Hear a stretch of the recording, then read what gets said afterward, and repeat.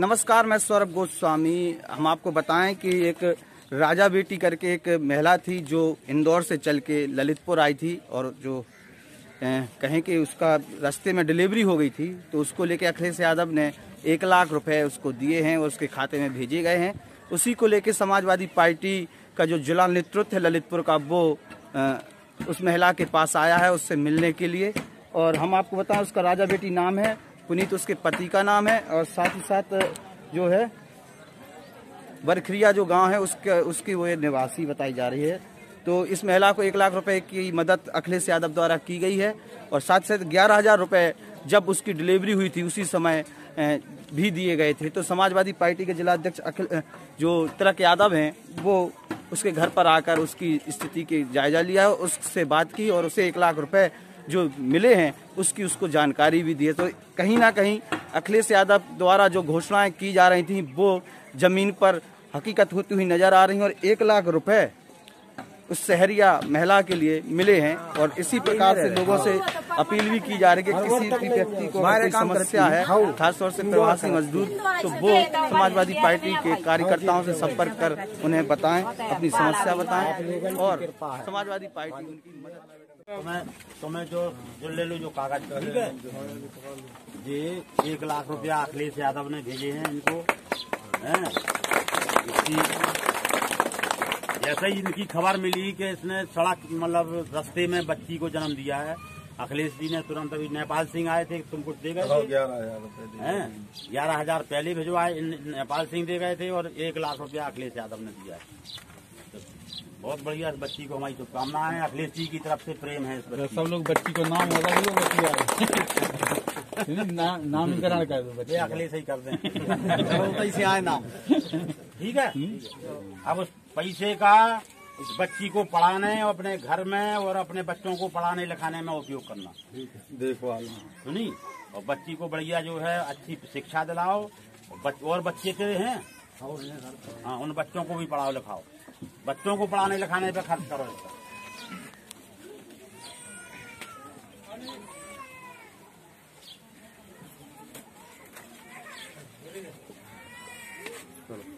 ठीक है जा बैठो हम लोग सब लोग हैं। वे लोग अगर ये तैयार आ जाए तो बुला लो उनको राम तुम तनक अपने जो कागज़ ले लो भाई साहब को भाई साहब पकड़ ले भाई साहब पकड़ ले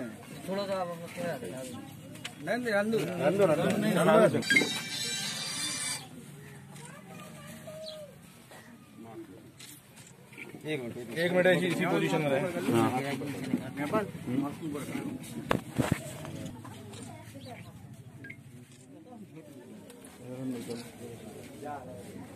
इस तरफ़।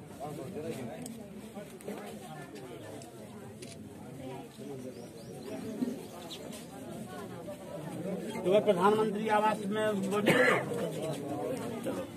चलो तुम आप चिंता नहीं। करो तुम्हारे मकान के लिए भी जो भी तुम मकान वकान की तैयारी कराओ हम तुम्हारी मदद कर देंगे। इज़्ज़त तो बनना चाहिए ऐसे हो ना थोड़ा सा थोड़ा सा भाई ऐसे हुई ऐसे ऐसे हो जाओ थोड़ा सा इज़्ज़त की फ़ोटो बजाए लाइटिन बन गई। अरे उनकी काय ले रहे अरे उसकी का लेना है अब दो मत लो। चलो अब अपन थोड़ी चर्चा करेंगे गाँव वालों में।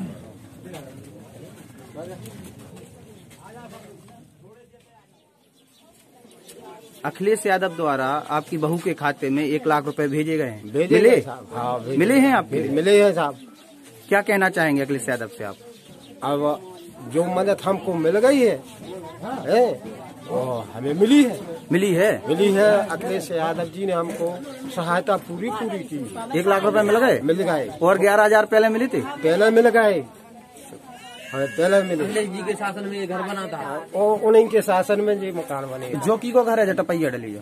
वही की जाए पुनून की अच्छा मकान नहीं है ऊपर यही में रह रहे वो तो परमट तक नहीं है तो तक नहीं है उसमें। बाहर काम करती हैं? हाँ इंदौर करते इंदौर तो तो भाई। हाँ जी जब भाई।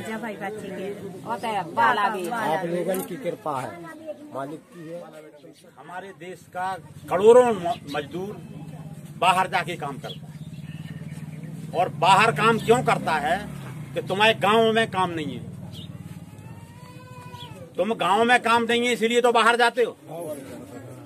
अगर गाँव में ही काम हो तो तुम बाहर नहीं जाओगे। लेकिन करोड़ों आदमी, खासकर अपने बुंदेलखंड का लाखों आदमी बाहर काम करता है। उन्हीं में से ये काम करती थी राजा बेटी, जो इंदौर से आ रही थी। और इसकी इसकी बच्चा हो गया वहाँ बालाबेट में। हमारे जो पार्टी के मुखिया हैं माननीय अखिलेश यादव, उन्हों, उनको जब ये पता लगा कि ये ऐसा ऐसा हो गया है तो उन्होंने तुरंत कहा कि मदद करो उसकी और उन्होंने अपनी जेब से एक लाख रुपया उसके खाते में दिए। और ये एक लाख रुपया कोई बड़ी चीज़ नहीं है, हम लोग इसलिए नहीं आएगा कोई हमने एहसान कर दिया। लेकिन जो गरीबी है इस देश में, उस गरीबी का जो उपहास जो हुआ है किस तरह गरीबों के साथ अन्याय हो रहा है? एक तरफ़ वो लोग हैं जो बड़े बड़े महलों में रह रहे हैं। एक तरफ़ वे हैं जो झोपड़िया है घास फूस की उसमें रह रहे हैं। उनके लिए कोई काम ये सरकार नहीं करती। आपको याद होगा कि जब पिछले अखिलेश यादव मुख्यमंत्री थे तो सभी को किटें मिलती थी खाने मिली क्या नहीं मिली? है? पूरी किट जिसमें आलू भी, आटा भी, तेल भी, घी भी, दूध भी, सब मिलता था। जैसे ही ये सरकार बदली, ये सरकार आई इसने दिया। ये सरकार जो है, वो गरीब की और किसान की और गाँव के लोगों की दुश्मन है। इसने सब धंधे चौपट कर दिए। आज इसीलिए गाँव में कोई काम नहीं हो रहा है। तो लोग मजदूर बेचारे खाने को नहीं है तो बाहर जा रहा है। और बाहर जा रहा है तो वहाँ भी काम नहीं मिल रहा तो भग रहा बेचारा, पैदल भग रहा है, कोई साइकिलों से आ रहा है, कोई किसी चीज़ से आ रहा है। तो बड़ी त्रासदी है, बहुत गरीबी इस देश में है। हम लोग सब ये चाहते हैं, आप लोगों से भी हम लोग यही कहना चाहते हैं कि आप लोग थोड़ा सा अपने आप में बदलाव लाओ। सबसे पहला काम तो ये करो कि अपने बच्चों को पढ़ाओ लिखाओ।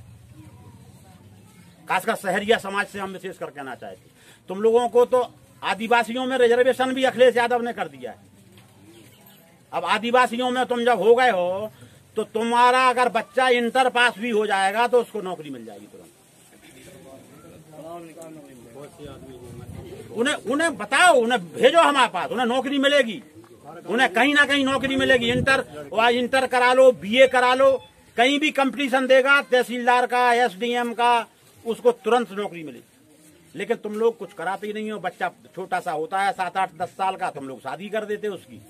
हैं? और फिर वो बर्बाद हो जाता है। तो आज पढ़ाओ लिखाओ थोड़ा थोड़ा अपने खर्चे कम करो। हमें मालूम है शहरिया समाज में क्या क्या कमियाँ हैं। हम देखो जी गाँव के हम गाँव जाना। कहने के लिए और उससे चर्चा करने के लिए उसकी माली हालत उसका घर देखने के लिए आए। आपने देख लिया कि उसका घर झोपड़ी डली हुई है घास फूस की झोपड़ी है।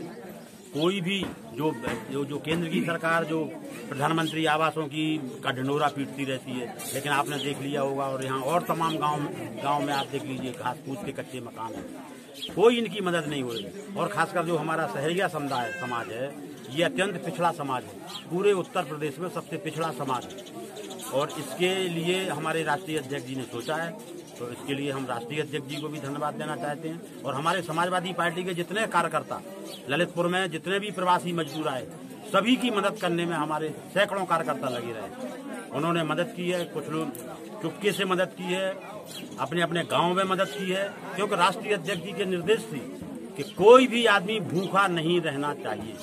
और उसी को लेकर हम लोग गाँव गाँव में सब जगह पता लगा रहे हैं, कहीं कोई घर ऐसा ना रहे जिसमें चूल्हा ना जले।